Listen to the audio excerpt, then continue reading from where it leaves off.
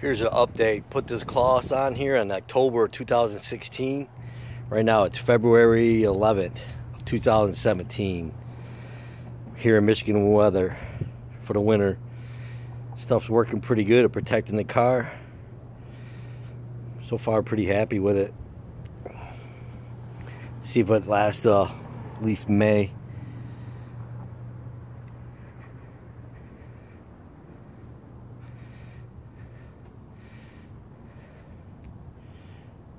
Pretty good stuff.